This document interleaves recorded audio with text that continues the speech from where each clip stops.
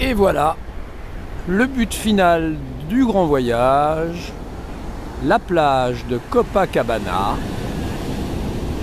à Rio de Janeiro. Il est 8h30 du matin et déjà les baigneurs sont là et les vendeurs euh, divers et variés aussi.